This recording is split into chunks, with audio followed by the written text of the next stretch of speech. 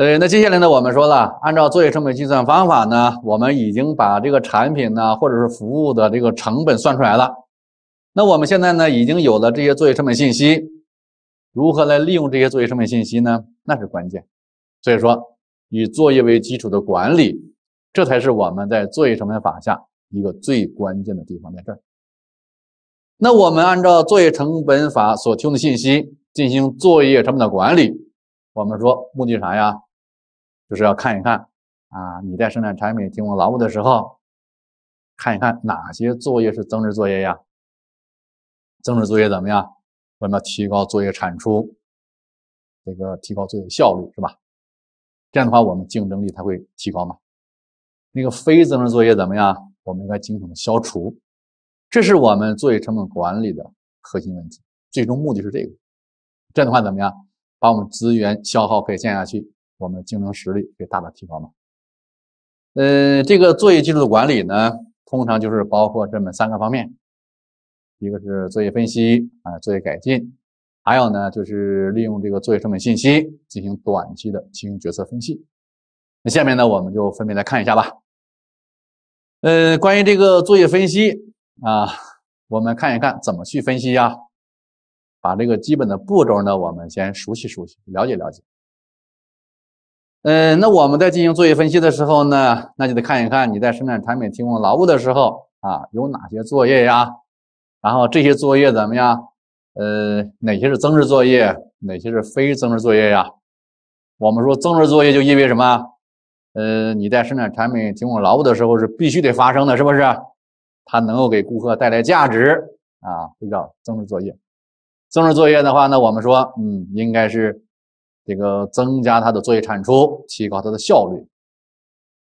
那紧接着呢，我们还要看一看你在生产产品提供劳务的时候，哪些是重要性的作业呀？因为你作业是很多的，是不是？你不可能说眉毛胡子一把抓啊，任何一项活动你都拿过来，我需要管控管控。你哪有那么多精力呀？哪那么多财力呀？所以说呢，我们就要看一看啊，这个根据。你这些作业的发生，它对你这种产品的生产经营，对你顾客价值提供，谁起到决定性的这种重要作用，应该重点去关注一下，是不是？另外呢，我们也看一看啊，你这作业发生之后，要根据成本效益原则，你这个作业啊发生，我们就会资源消耗啊，然后作业自然会带出一种回报产出嘛。你产出必须大于你投入，这叫成本效益原则。然后综合去考量啊，看一看对你这个产品提供啊，对你的服务提供啊，它的价值创造最为关键的，把那个作业都拿过来，然后我们就分析分析，是不是？因为你把那个重要作业管控好了，基本上说你就成本就能够控制住了。就这里面呢，我们说了，嗯，这个二八原则的应用是吧？二八原则用啥意思啊？这个最早它是用于分析什么？分析这种财富的水平的一种这个分布的。说这个全球的百分之二十的人掌握着百分之八十的这个财富，二八原则。那在我们这里面啥意思呢？我们有那么多的作业。我们说，抓住其中最重要的百分之二十的这些作业项目，因为这百分之二十作业项目，它能够决定着我们这个产品或者服务成本的百分之八十。你看，你把这个百分之二十的作业控制好了，因为这是非常重要作业嘛，对我们这个价值创造起着决定性作用的，把它控制好了，那就意味着成本就能控制到百分之八十水平了，就 OK 了，对吧？嗯，这二八原则其实用的时候还是非常关键的，是不是？你说我们全书的内容，那就意味着什么？我抓住其中的百分之二十、百分之三十，啊，因为它能够决定我们全书的这个百分之八十的这个重要的考核点，那行了吧？这是我们得用最少的投入，然后赚取最高的回报出来。你看我们在讲课的时候也基本上说是按照这样的思路来说的。啊，非常重要的地方，我老贾会详详细细讲；不重要的地方，我就略一下。可有可无的地方，我甚至都不讲，都不在我们讲义里面，明白了吗？但是我们有些考生怎么样？哎呀，你看老贾今年某个点没讲，哎，今年考试就有这个点，你看这一分没拿着，你看我得五十九分吧？这是老贾罪过。所以说我从来不看各位的评论，你只要是按照我老贾告诉你的哪块给我必须好好掌握，你就去掌握去，保证你过关。我老贾保不了你满分，但是我能保你过关。那一分丢掉了，那是老贾造成的吗？还有九十九分可得呢，那那九十多分你怎么不好好弄呢？个别一两问不要管他，但是我们有太多的考生。他就是这样想的。考完之后，每年都是这样。哎呀，对今年考试情况评论一番。哎呀，今年出题太偏呐，太怪呀，这找不着点呢。然后怎么样？哎，最后他过了。网友说了，你看出题出成这样，我都能过。你看我水平多高。最后说他没过呢。你看，就是因为出这样题没我没过。你看，不是我的问题，是出题的问题。不管是哪个。他自己都很很有面子，不要这样看啊！太多的考生每年都这样。好，那接下来呢，就是我们把这个非常重要作业不都找到了吗？然后这些非常重要作业呢，然后拿过来和这个啊最佳的那些实践作业去比一比啊，看看同行业来讲的话，哎，你看看人家那个作业发生之后。人家用了多少的资源消耗啊？人家用了多长时间呢？人家作业的时候到底有几个人呢？而你这块多少啊？一对比就可以发现什么？哎呀，你的作业是不是太差了？我们是不是还应该有改进的机会呀？这就是对标和这种这个有效性分析，你找到差距是不是？然后接下来呢，我们还注意什么情况呢？就是说你这个企业在生产产品提供劳务的时候怎么样？这个不同的作业之间怎么样？这个联系还是比较紧的。我们讲的是有序的、无缝的链接，才能保证效率高啊。那如果说你这个作业里面怎么样有重复，有重复就会浪费资源吗？效率低下吗？所以说怎么样？对那些重复作业要进行改进，要进行流程的优化，对不对？可以提高我们效率，从而怎么样减少我们资源消耗就可以了。那就可以了。那接下来呢，我们来看一看啊，说我们在进行作业分析的时候怎么来做呢？那怎么来做呢？那首先一个呢，那我们就来看一看，说我们这些作业发生了哈，这些作业发生之后，我们说作业发生就会有资源消耗吗？那我们就看一看，那你消耗这些资源到底合适不合适啊？我们要对这些作业的资源消耗要进行分析，讲的是有效性分析嘛。那么怎么进行资源的有效性分析呢？说我们在生产产品提供劳务的时候，啊，在整个的这个生命周期的过程里面，从研发设计到最后生产销售，整个过程里面到底有哪些作业呀？把这些啊生产产品提供劳务的这些活动，我们要细分一下。这叫作业的识别嘛？那么这些作业的识别出来之后呢，我们将来在你分配的时候，你不可能说啊，我 A 产品、B 产品每个作业都分一下，每个作业分一下，那太麻烦了，任务量太重了。所以这时候怎么样？同样要把那些具有相同的作业动因放到一起，这些作业放到一起，放在一起时候怎么样？我们就形成了作业中心了嘛？然后呢，在这个作业中心里面，就可以把那些资源消耗放到一起了，是不是？就形成了这个作业中心的一个作业成本嘛？这合计数出来了，其实就是什么？就是我们讲那个成本库。那我们说呢，对于这些啊这个作业而消耗了这么多资源，那这些资源消耗到底是不是合理的？是不是必要的呀？我们说，确定它的有效性。啊，一看啊这些资源的消耗都是合理的、必要的，那就说没问题，没有浪费。好，有效性就分析完了。那接下来呢，我们再来看一看，说你这些这个作业发生了，然后这个作业发生目的是怎么样？是为了将来生产产品和提供服务来使用的，对不对？那就意味着你这些作业最终的产出怎么样啊？它在为你产品的生产、服务的提供的时候，到底起了多大作用啊？哪些起作用的作业，哪些不起作用作业呀？其实说白了，我们这块作业分析讲什么？讲的就是一个增值性分析嘛。为你的产出到底做了多少贡献？所以这时候呢，我们就来看一看了，你这个作业的发生，为你顾客价值创造，看看有关系没有啊？那就是意味着我们说了，你能够增加顾客价值作业。我们应该提高它的作业产出，是吧？不增加顾客价值作业，应该尽可能消除嘛。因为你作业的数量消除了，资源消耗不就降低了吗？然后怎么样？你的产品或者服务的成本不就降下去了吗？所以说，我们要看一看哪些是增值作业，哪些是非增值作业，是吧？我们说，作为增值作业来讲的话呢，要同时满足三个条件了。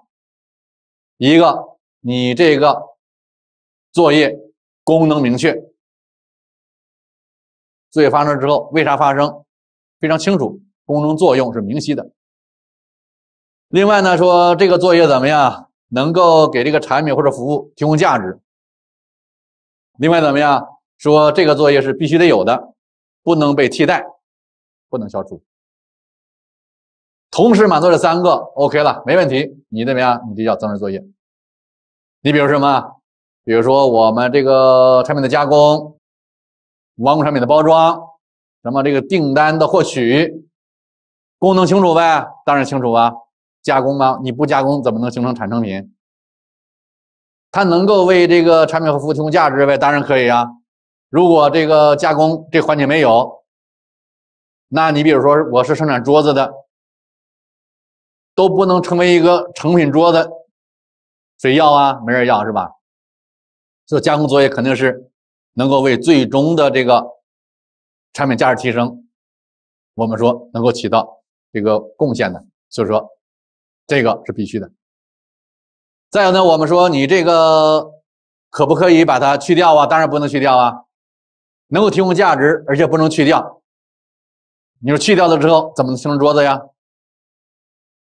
说我们卖个整品桌子和卖那板材能一个价吗？所以说，能够提供价值，而且怎么样是必须发生的，那就是什么？这叫增值作业。你看，这不就出来了吗？那你比如说呢，呃，像这个废品的清理呀、次品处理呀等等等等这些东西，或者说这个材料在仓库里面等待呀，这些东西，那叫什么？那叫非增值作业嘛？啊，非增值作业。那你比如说我们这种废品清理。这种废品清理作业，那你说功能明确不？功能当然明确的呀，废品清理吗？你还不知道在干嘛吗？功能是明确的。那么它能够这个给这产品或者劳务提供价值不？我们说这种价值提供，废品的清理，说我们有那么多废品，把它整理整理。这个好像也不会增加你的这个价值，是不是？那东西也没人要。那你说这个东西是必须的吗？那如果我生产的时候按照全面质量管理，我没有废品，那没有废品我还清理干嘛呀？就没必要清理了吧？所以它是怎么样？它不是必须发生的。如果我们是零缺陷生产产品，没有废品问题，没有废品就没有废品清理的作业了。所以说，你就在考试的时候，给你相关作业，就按照这三条去判断。三条同时满足的叫增值作业，没有同时满足的，那就是非增值作业。好，搞清楚了哈。那接下来呢，就是关于这个作业链的综合分析，也就意味着你在生产产品和提供劳务的时候怎么样？我们说作业和作业之间，我们说应该保证什么？保证有效的无缝的链接，这样的话怎么样才能保证我们的效率的提高嘛？如果说我们生产产品提供劳务的时候，作业和作业之间存在的重叠、存在的延误、等待，那当然我们这个效率低，效率低怎么样？资源消耗就多了呗。所以在这里面，说我们在这个作业链综合分析的时候，说我们生产产品提供劳务怎么样？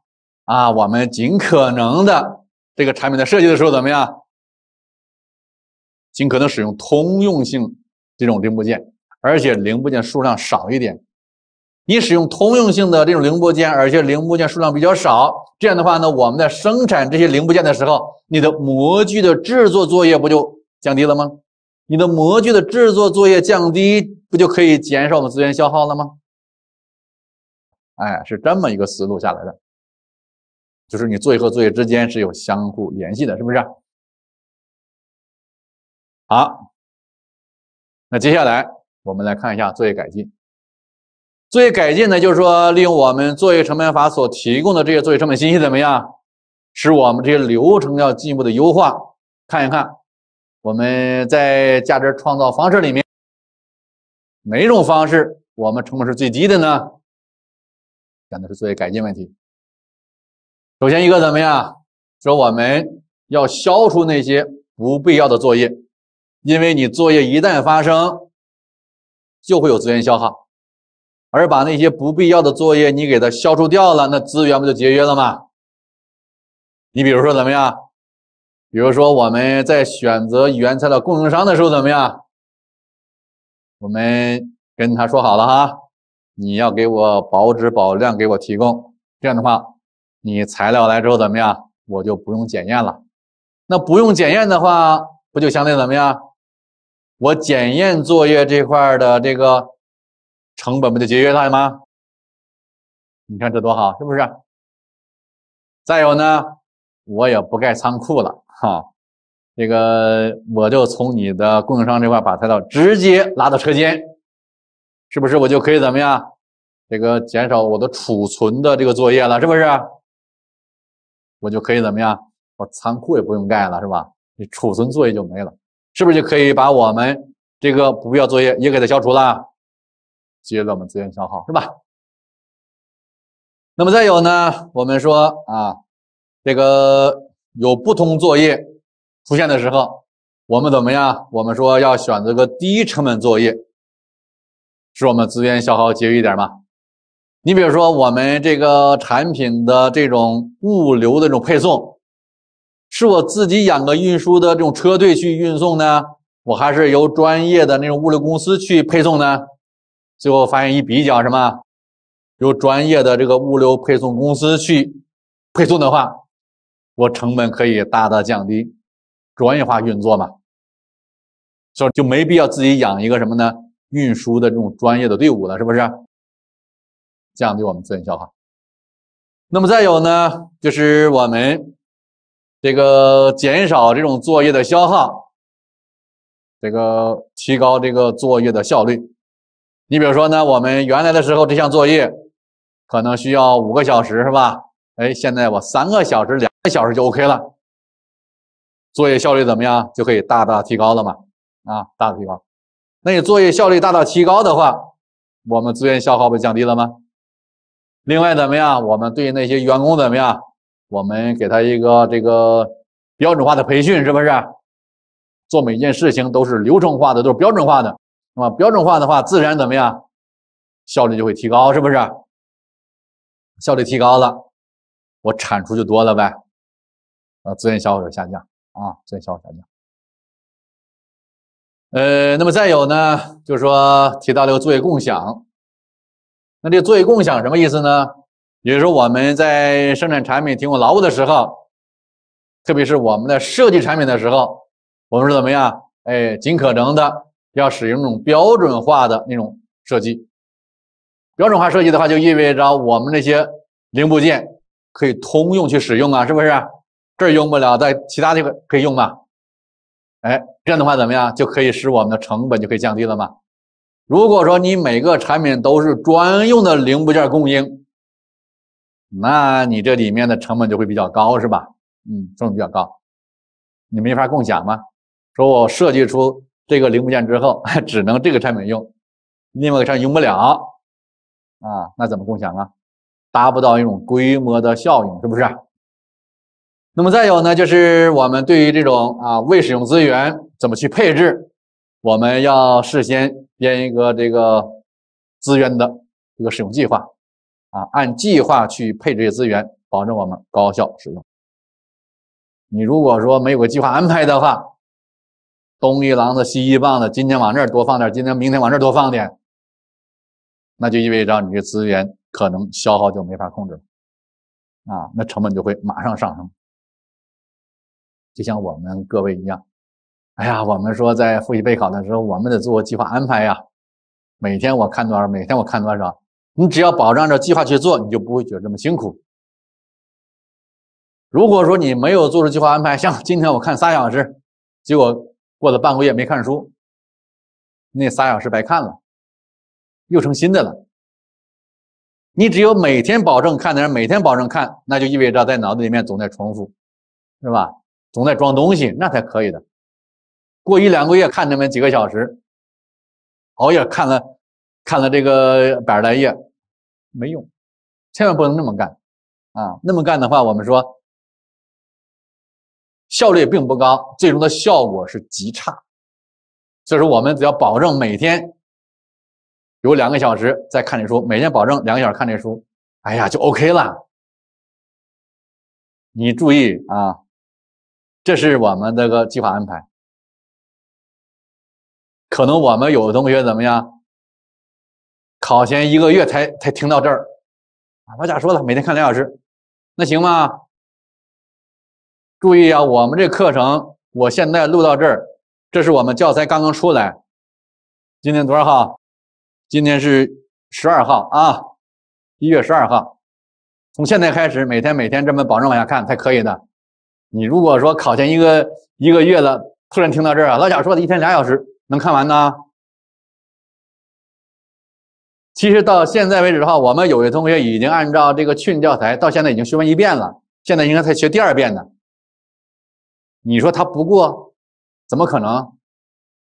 现在我们有的同学有时候在这个微博里就问我：“老师，我现在没时间呢，你说我不听课行不行？”那不听课行，我们讲课干嘛？对吧？那说不听课都能过，那咱往下别开这课了呗，你就走自己学得了呗。好不容易问个问题，还问个这问题，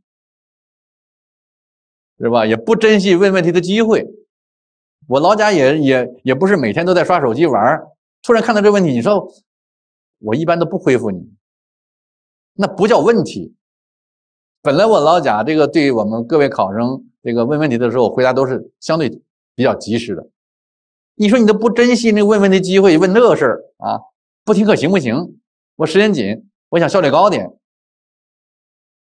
还有人说，老师我没时间听预习班，我直接听技术班行不行？或者说我技术班没时间听，我将来直接听案例班行不行？那要行的话，我们还开这么多班干嘛？所以说这问题我一般不予回复，我就当做没看着。所以你也不要埋怨我，因为那不叫问题。然后接下来呢，我们来看一下呢，呃，说利用作业成本的信息，这个对于我们短期经营决策进行优化，看看怎么来操作的。呃，首先一个呢，就是本量力分析，我们基于作业成本法去做。那么基于作业成本法去做本量力分析的话，它的差别在哪呢？也就是说呢，它把变动成本呢是分成了两块，一个是短期变动成本，一个是长期变动成本，只是这么一个区分。那么所谓的短期变动成本呢，就意味着和你的产量级作业有关系，产量越高，你这块的这个变动成本就会成比例的上升。也就意味着这种短期的变动成本，其实说白了就是我们在传统的那种成本计算方法下。它那个变动成本的概念是不是？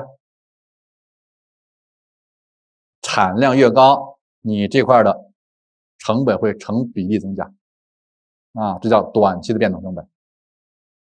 所以说，我们这个成本，比如说啊，可以和你的工时有关系呀，和你的机器小时有关系呀，和你的这个产品数量有关系呀，嗯，等等。比如说你直接材料啊，直接人工啊，就是典型的属于这种。接下来呢，就是关于这个长期的变动成本。这个呢，我们说是和你的批次和你的品种的数量有关系。具体你的产量多少没关系。意味着什么？意味着，嗯，这是品种级作业成本，或者是批别级作业成本。你比如说，你的服装加工厂生产衬衫啊、西服啊、夹克啊，哎，三个品种。那三个品种的话，就意味着。你这个品种这块的作业成本，那就和这个品种数量有关系吗？我如果就生产一个品种，或者生产两个品种，那这个品种这块的作业成本肯定就不一样嘛。所以说你品种数量越多，这块比如说请的设计师就会多一些嘛。啊，如果就生产一种产品，一个品种就西服，那我就请一个西服设计师就可以了。那现在我得请三个设计师，那三个设计师，你看工资不就多了吗？那么再有呢，就是批别级的话也是一样。如果说你批次越多，这个成本应该越高。你比如说我们这个生产西服，有各种型号的；衬衫有各种型号的，是不是？每一种型号就是一个批别，每一种型号就是一个批别。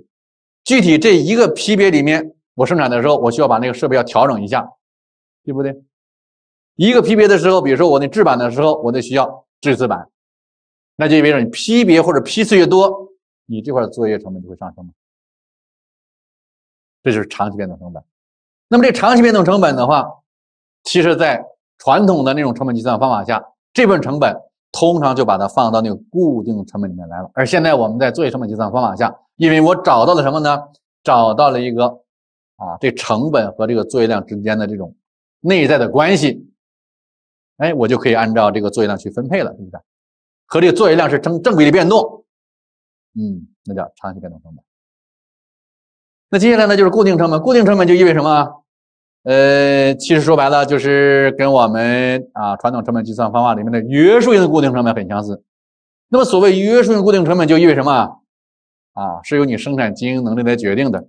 你有这么大的生产经营能力，就必须有这么多开支。你比如说，有你的厂房的这个。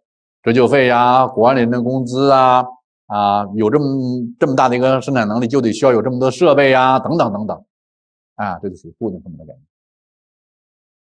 其实说白了，就是意味着什么？属于一种设施级的作业成本，维持整个企业正常运转啊，这些成本都属于固定成本概念。那么这样的话呢，我们通过这么来分析的话呢，我们会发现啊，我们说按照作业成本计算方法的话，说我们要进行本链内分析，那就是说你的长期变动成本啦、短期变动成本啦，都属于在作业成本计算方法下那个变动成本的范畴。只不过呢，我们说你短期变动成本是和你产量的有关系，而这个长期变动成本呢，我们说是和你的啊品种的数量、批次的多少有关系，对吧？那这时我们来看，其实，在作业成本计算方法下，我们的固定成本的口径和传统成本计算方法相比的话，是不是什么呀？口径小了嘛？因为其中一块拿在哪儿了？其中一块拿到了长期的变动成本里面去了，是不是？那时候我们在计算这个边际贡献的时候，边际贡献不就收入减变动成本吗？那就说我们收入减变动成本，注意这个变动成本应该包括两块，既包括什么？既包括短期变动成本，而且还要包括什么？还要包括长期变动成本。你别给减错了，是吧？如果说你还是只减了短期变动成本，那完蛋了啊，这分又没了，因为你那个没有基于作业成本计算方法去分析，对吧？好，那我们来看个例题。某公司呢是一家从事家具制造的企业，公司呢决定。上一条新的生产线来生产呢学生的桌椅，最大的生产能力呢五千套。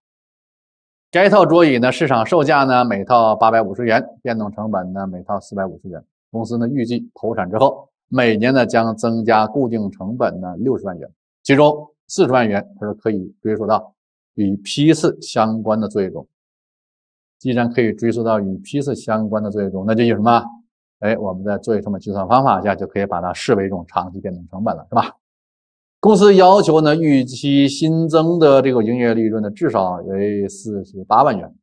公司呢预计新生产线将按批次来调配生产，并且呢只能进行小批量生产，每批次呢只生产一百套。每批次生产一百套，如果我们这块是最大生产能力是五千套的话，就有什么？意味着我们生产的批次应该是五十批呗。假设呢产销均衡，那生产多少卖多少。要求根据本量类分析的模型，分别计算呢传统成本法和作业成本法下这种保利产量。保利产量就意味着你要想实现这一块的四十八万元的这个营业利润，那看看你的产销量多少。好，我们。来看一下，按照传统成本法下看一看，那就意味着我们这个利润有了，这个按照传统成本法下呢，这个固定成本有了，然后怎么样除以这个单价减单变是吧？不就可以算出实现这个利润的时候它的产销量吗？啊，其实像我们玩熟的可以这样列，如果玩不熟的话，你咋列呢？玩不熟的话，你就这样列呗。我们要求的产销量是 Q，是不是？乘以什么呢？八百五十减去四百五十，是吧？同上单价减单变，那不就可以算出边际贡献总额吗？然后再减什么？再减这个固定成本，是吧？固定成本多少呢？固定成本是六十万吗？然后等于多少呢？等于四十八万，是不是？这不就可以了吗？是不是就可以求出 Q 来呀？然后你列出式子，不就这个式子吗？这个没问题是吧？这是传统成本法下这个实现目标利润的一个产量数。那现在呢，我们来看一看，如果是基于作业成本法呢？那基于作业成本法，我们得首先怎么样看一看你的长期变动成本多少嘛？我们说那四十万是可以归到和批次有关的成本上去。我们说呢，按照最大产能的话，如果每批生产一百套，就需要生产五十批，所以说每批的成本有了。而一批呢，我们说是生产一百套，所以说呢，这个每套桌椅的这个长期变动成本就出来了，是吧？那下面我们说，按照作业成本法下，你这种保利产量呢？这时候呢，我们说了，这个与这个企业正常运转的时候和设施有关的这个固定成本直接拿到这儿来，是不是？那就不是原来的那六十万了，是不是？因为六十万里面，其中四十万批走了，和这批次有关的，那就还剩二十万放这儿。呃，目标利润呢还是四十八万，是吧？分母这块呢，单价减去单位变动成本，是吧？那这时候你注意，单位变动成本里面就包括什么呢？包括短期的，包括长期的嘛。同样呢，你也可以按照我们上面式子列，是吧？也没问题吧？那啥意思呢？那就意味着我们这个要求的是产量，是吧？乘以什么呢？单价八百五十。减去单位变动成本一个四百五，再减去一个八十，是吧？然后怎么样？再减固定成本，固定成本这块怎么样？这块就二十万了呗。然后这块等于什么？等于四十八万呗。啊，算出结果不就可以了吗？你玩熟了就可以这么来列，没玩熟的时候就是下边这种列式方法。这个列式方法应该不陌生吧？我们在这个全面预算管理这块呢，我们讲这个预算目标确定的时候，不有本量类分析法吗？啊，本量类分析法，这不就相当于是个目标利润吗？所以说我们前后要把连在一起，是不是？我们有的人说，哎呀，这不熟呢，不熟就说明前面忘了啊，啊，说明前面忘了。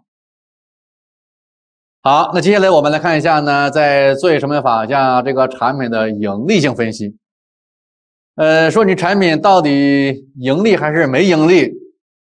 这时候呢，我们一定要注意什么呢？注意一下你这个产品的售价和什么去比较啊？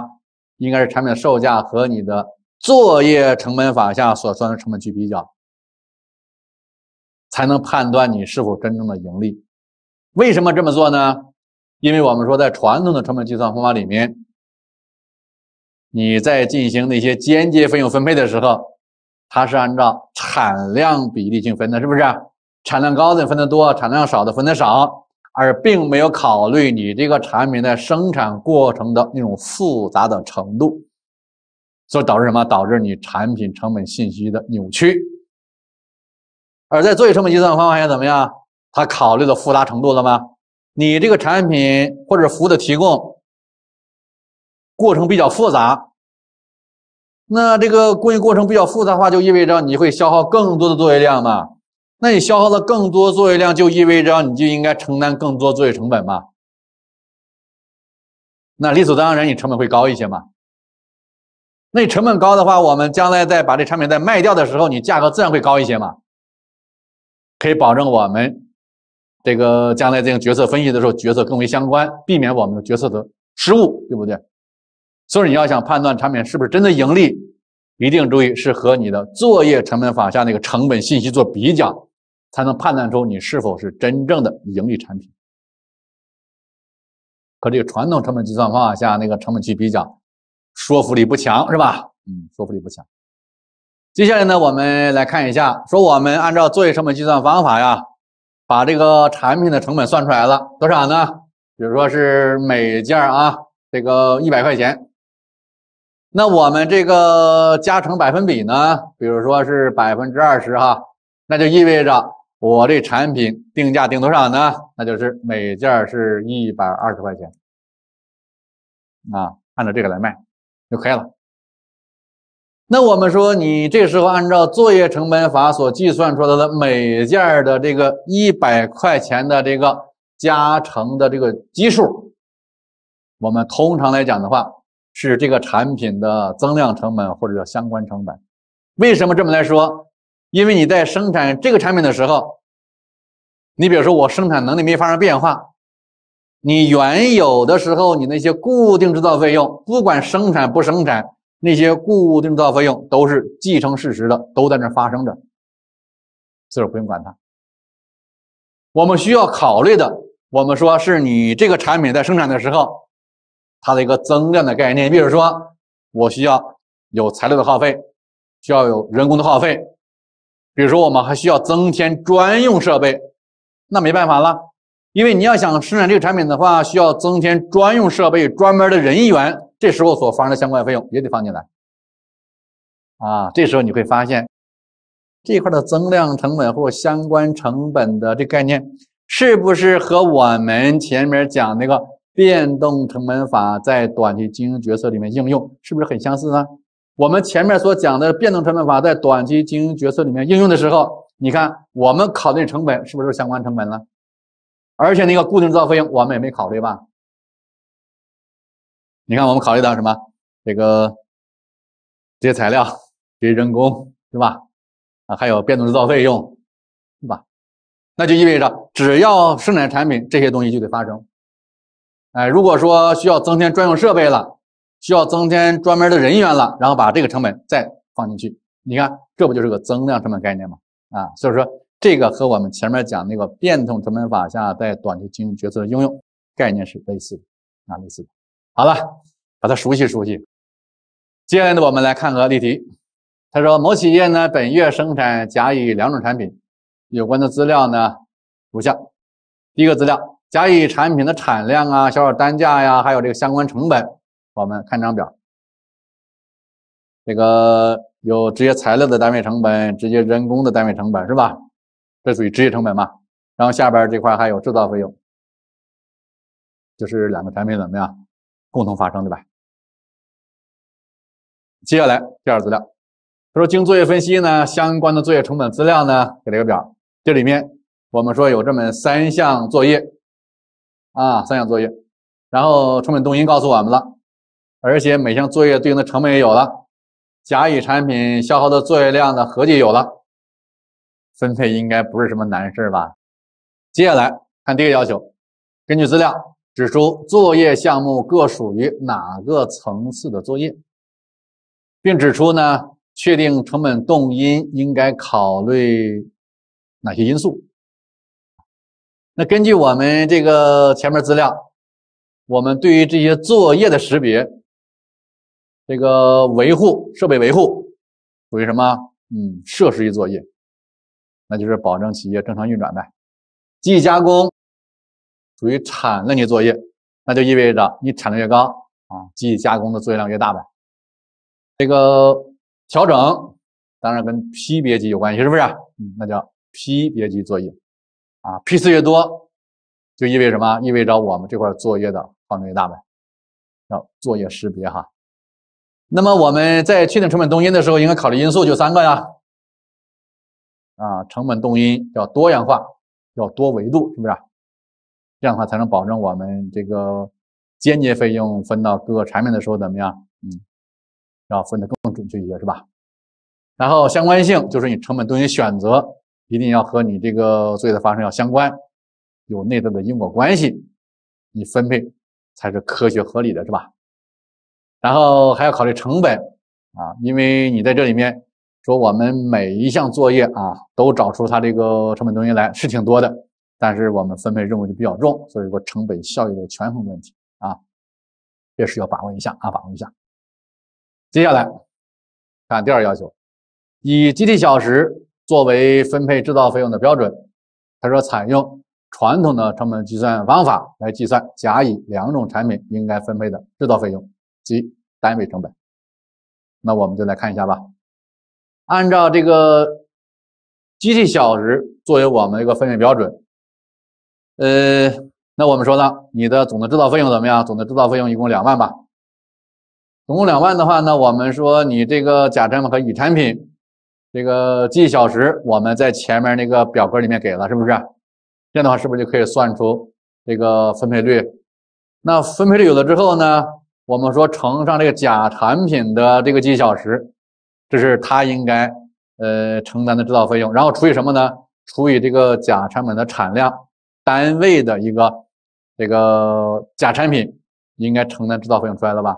然后再加上我们前面两项直接材料、直接人工，不就可以算出它的单位成本吗？呃，同样的思路呢，我们说你用这个制造费用的分配率乘上什么呢？乘上这个呃乙产品它的机器小时数。这是它应该承担的这个制造费用，然后除以什么呢？除以它的产量，是不是就可以算出它的一个单位的产品应该承担的制造费用？然后再加上它的一个这些材料、这些人工，算出它的单位成本。这个应该思路清楚吧？应该没啥问题的哈。接下来看第三个要求，采用作业成本计算方法呢来计算甲乙两种产品应该分配的。这个制造费用以及单位成本，那这时候呢，我们就分别来看一下了。这个甲产品应该承担的这个设备的维护成本多少？那么这个总的维护成本呢是一万，是吧？然后除以这个甲产品和乙产品耗用的作业总量，是不是就可以算出这个分配率？那么这个作业成本分配率有了之后，乘上什么呢？乘上这个甲产品耗用作业量。就是你甲产品应该承担的维护成本吗？那么乘上这个乙产品耗用作业量，那不就是乙产品应该承担维护成本吗？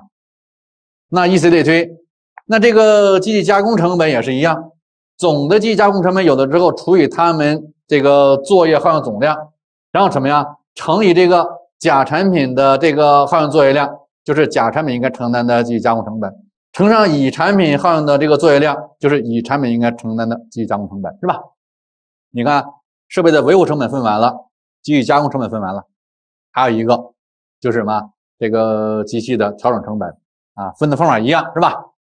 除以总的作业量，然后乘以这个甲产品的作业量，这块同样道理，除以总作业量乘上这个乙产品的耗用作业量，不就分完了吗？那分完之后呢，我们就把这个甲产品应该承担的这个三个作业成本合在一起，乙产品应该承担的三个合在一起。那合在一起之后呢，就是甲和乙的总的作业成本不就出来了吗？你注意，这俩分完之后把它加在一起，你看是两万不？你别最后说你是分完了，最后加在一起，跟我们要分配的两万对不上了，那你错了啊，赶紧改去。好了，那那一个甲产品呢，我们说你承担作业成本有的时候你除以它的产量，单位作业成本吗？那么乙产品的应该承担这个作业成本有的之后除以它的产量，单位作业成本。好了。加上他们各自的直接成本，你看单位成本不就出来了吗？然后接下来看第四个要求，结合呢第二和第三个结果，对于两种产品的盈利性呢进行分析，并进行决策。那我们就来看一下吧。按照传统的这种成本计算方法的话，那我们说甲产品它的单位成本怎么样？呃，比这个单位售价低。按照传统的成本计算方法，甲产品盈利，而乙产品怎么样？乙产品它的单位成本要比单位售价高，亏的。那如果按照作业成本计算方法呢？我们会发现，甲产品单位成本比单位售价高，说明什么是亏的，而乙产品相反，乙产品是盈利的。那我们要进行决策分析的话，应该按照谁来分析呀？谁才叫真正盈利性产品呢？我们说，基于作业成本信息，能够保证我们成本信息的真实可靠，才能判断你是真正盈利性的产品。所以说，怎么样？我们应该怎么样？应该去生产产品。啊，整体思路清楚吧？我们的高考考试就这个水平啊！你说这么简单吗？没问题，考试也许比这还简单啊！所以说我们不用去吓唬自己啊！你不敢考试，都是别人吓唬你，吓唬你。你如果真正从考场上去走一次的话，你就不害怕了，是吧？接下来看第五要求，指出作业成本法的优缺点，这个就比较简单了吧？你不用背它是吧？我们直接到誊抄教材去呗。但一些关键点得清楚是吧？能够准确提供这个成本信息，对吧？呃，那么再有怎么样？他说能够有助于这些啊流程的这种改进，保证决策正确。关键点哈。再有怎么样？有利于改善我们的成本控制，方便绩效管理。啊，再有怎么样？可以提升我们的管理的能力或管理水平。不足地方怎么样？我们关于这个作业的识别呀、划分呐，还有我们成本动因的选择呀，有主观性。然后怎么样？这个成本比较高啊，成本比较高，这个操作起来也比较麻烦，是吧？啊，比较复杂呗。好了，就行了呗。当然，我们各位考生类似这样题的时候，都不敢。这个少点字儿多点字儿的是吧？总怕那少点字儿多点字儿这个扣分儿啊。所以说我们有太多的考生，教材咋写我就咋往录入吧。当然没关系，肯定是可以的。但是我们说你在学习的时候一些关键点啊，我们录上去的话，这题就得分了啊。这样的话我们效率不就大大提高了嘛？是不是？